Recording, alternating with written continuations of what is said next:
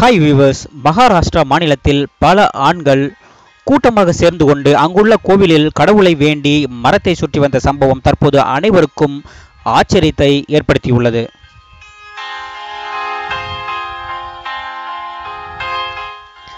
மரத்தில் கயிறு கட்டி மனதில் தான் நினைத்தது நடக்க வேண்டும் எண்ணிக்கொண்டு கடவுளை வேண்டி மரத்தை சுற்றி வரும் பெண்களின் இந்த வழக்கம் இன்றல்ல நேற்றல்ல காலம் காலமாக நடந்து வரும் ஒரு வகை இறை நம்பிக்கை.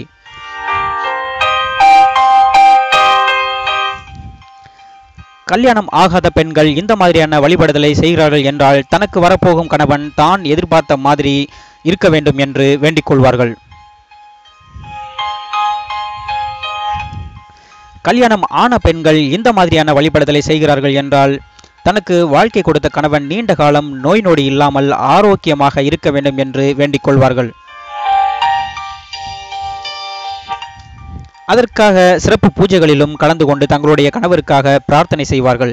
இறைவனே கதி என்றும் சில பெண்கள் இருப்பதை நாம் பார்த்திருக்கிறோம். இதையும் தாண்டி சில பெண்கள் தங்களுடைய கணவருக்காக மண் சோறும் சாப்பிடுவார்கள். அந்த அளவுக்கு தங்களுடைய கணவர் மேல் பாசமாக இருப்பார்கள். இதை நாம் சாதாரணமாகவும் பொய் என்றும் சொல்ல முடியாது. இது அவர்களின் அன்பின் ஆழத்தை காட்டுகிறது. சரி பெண்கள் மட்டும்தான் இப்படி செய்வார்களா? ஆண்கள் இப்படி செய்ய மாட்டார்களா?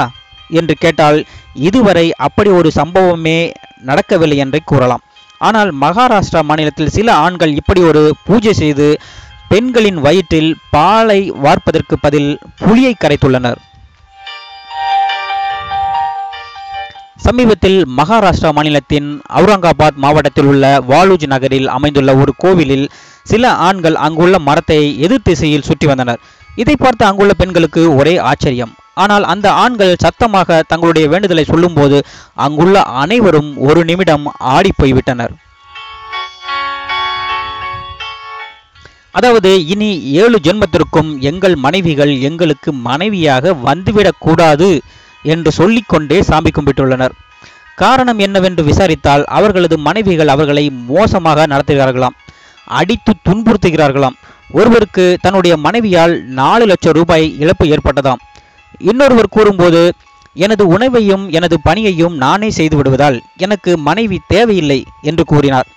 மற்றொருவர் கூறும்போது எனது மனைவியால் எனது வேலை பறிபோய்விட்டது. இதனால் எனது மனைவியின் முகத்தை பார்ப்பதை விட நான் இறந்து போவதே மேல் என்று ஆவேசத்தோடு கூறினார்.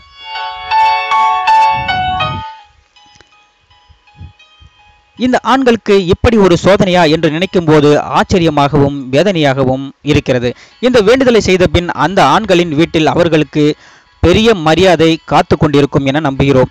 அவர்களுக்கு இனிமேல்தான் பூஜை நடக்க இருக்கிறது. ஐயோ பாவம். அந்த ஆண்கள்.